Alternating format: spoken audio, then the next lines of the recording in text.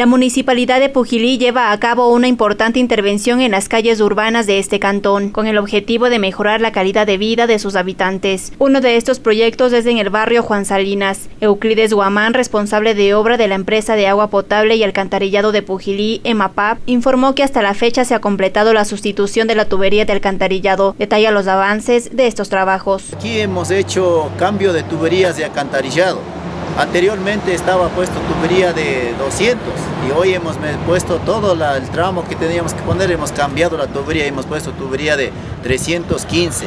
Ese trabajo hemos hecho, hemos hecho justo en, un mes. Y acabamos de fundir pozos, toda la tubería ya está terminada, total, incompleto ya lo que debíamos cambiar.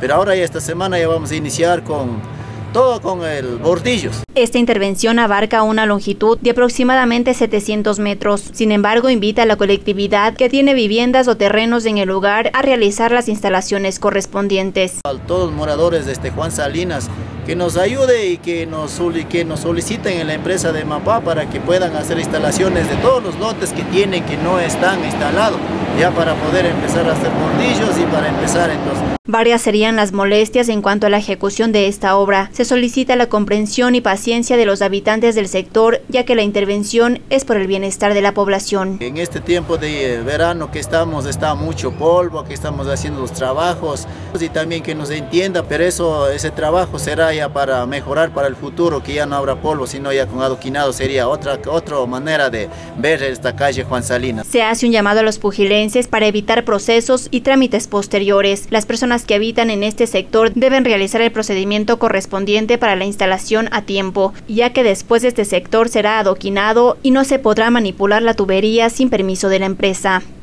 Para Marca TV, Joana Medina.